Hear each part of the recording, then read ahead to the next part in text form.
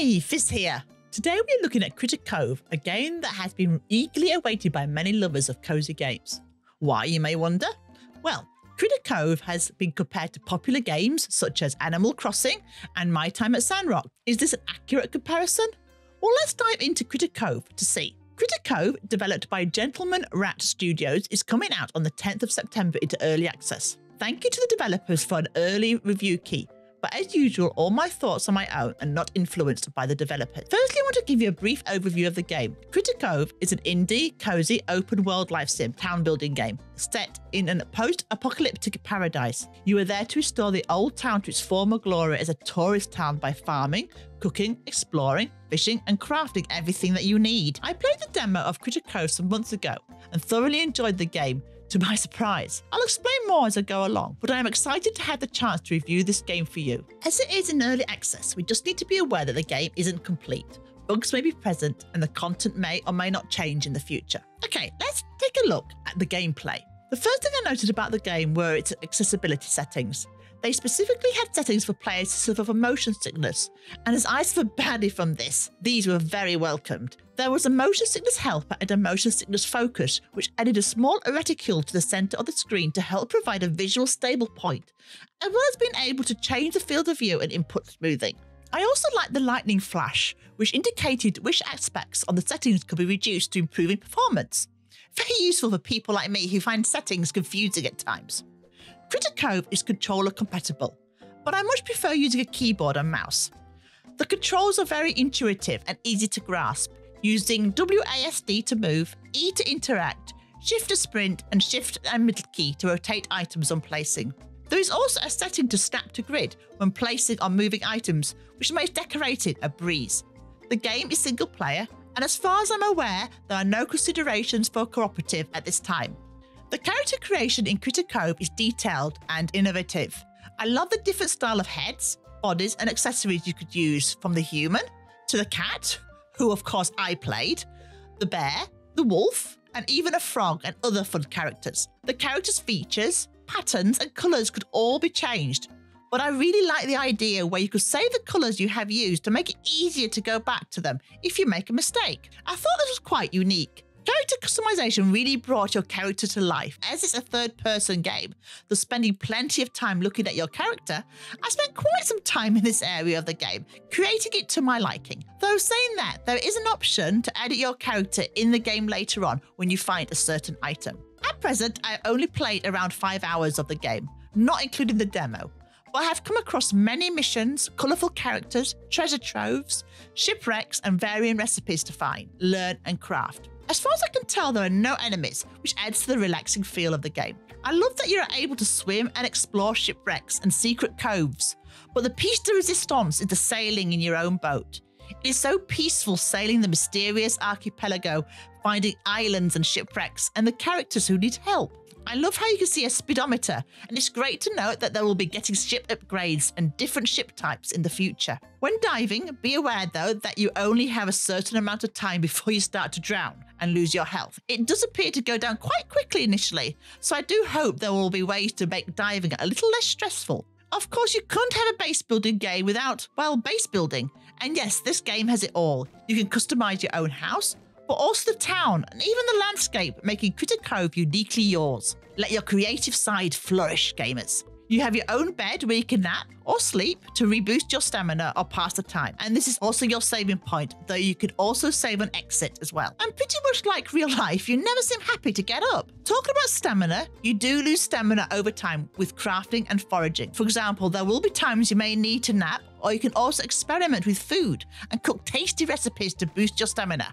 Other things I'd like to mention are the different clothing that you gain from missions and treasures that you can wear, and the different weather systems like rain and thunderstorms, which add to the ambience as well as, well, I'll let you play to find out. I had so much fun sailing the seas, meeting the characters, treasure hunting, and generally exploring and crafting. Critter Cove made me smile and generally made me feel part of the island, and I wanted to help the characters in Critter Cove from a quiet, lonely island to a bustling haven for tourists. Next up, let's take a look at the visuals and art style. The art style is vibrant, with cute character designs and aesthetics that are adorable and appealing.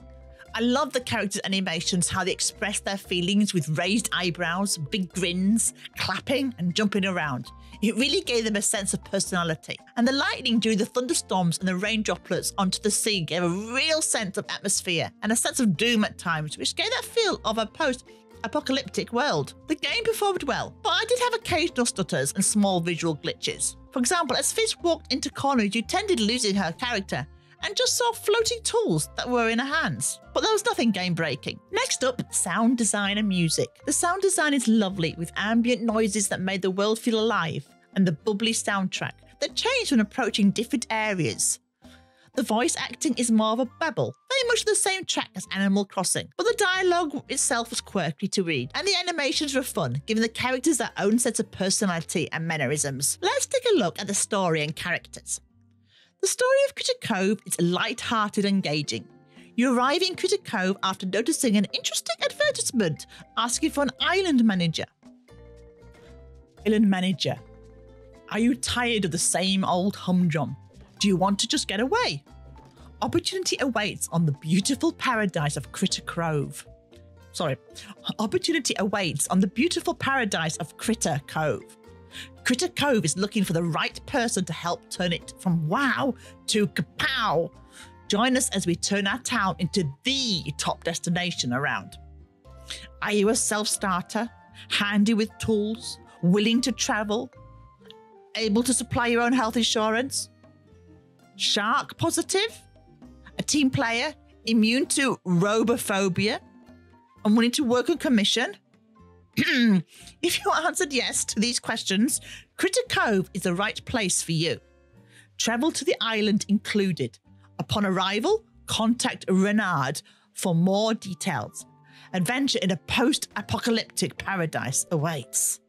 The shark positive and immune to robophobia piqued your interest a little. On arrival, you are greeted by Renard, a very charismatic rat who is very eager for you to get started. As you settle in, you become friends with the inhabitants, working together to rebuild the island so it can thrive again. The premise of the story is to rejuvenate Critter Cove.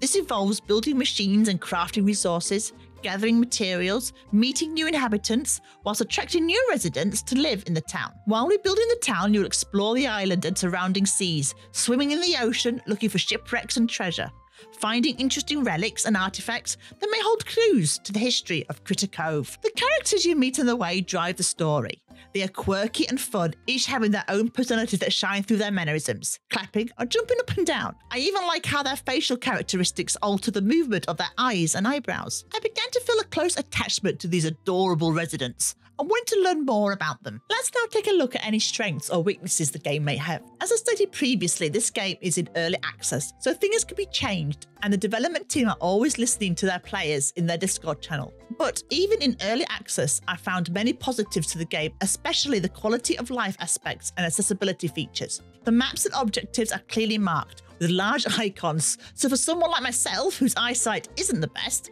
this made finding your way much easier. As well as the main map, which had a thorough legend showing all the icons, you also had a small compass which clearly pointed you in the right direction. And I love that when you went sailing, if you passed over a shipwreck, it placed a symbol on the map. My favourite quality of life feature though were the containers.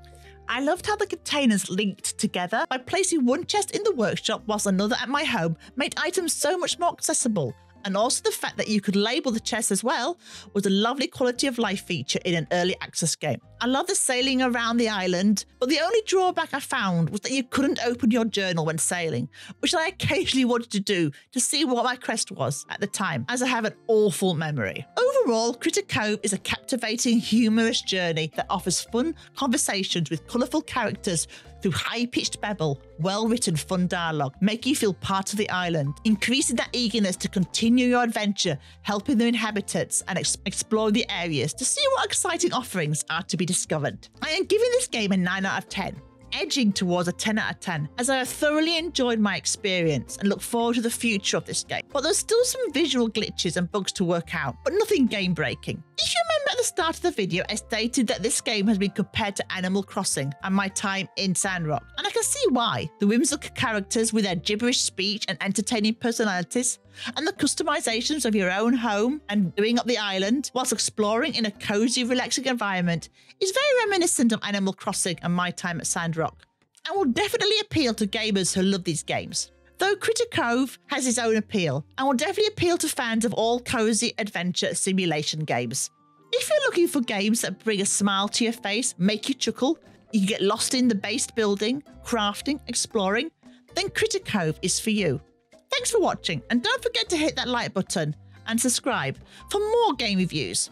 Let me know in comments what you think about the game, or if there's something you would like me to review next. Oh, and did you hear that Cat Cafe Manager 2 has come to Kickstarter? Take a look at my latest review on Cat Cafe Manager to catch up with the game before the sequel comes out. Thank you for watching, and take care.